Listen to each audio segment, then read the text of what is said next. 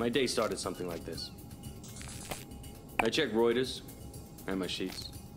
See if there's been a change in the fundamentals. See if the spread's up or down. And then when the clock strikes go, I'm on the phone. I could be calling some commercial shop in Bumble, Kansas, where little old Sue loves to know how my daughter's doing.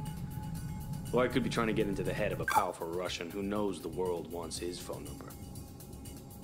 That's when the psychology kicks in, and I go to work. If they pick up the phone, they're mine. That's the game. I started when I was uh, 29, 30. My boss. My boss was a coked up, permatanned moron who was wasted by lunch. More money than sense. Screaming at waiters because, uh, you don't drink gin out of a glass like that. And Caesar salad is supposed to have eight pieces. Eight pieces of chicken, you stunted fool.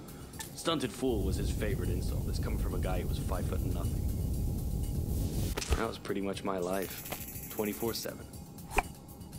I traveled a lot, meeting clients all over the world the Amazon, the Gulf, Siberia, Central Asia, the States, Singapore, everywhere.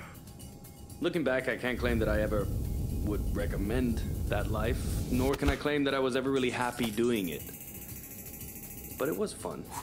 I mean, talk about your share of oh, moments.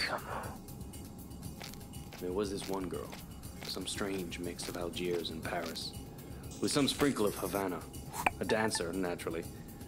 So pretty. She'd turn a priest's head or give a nun a.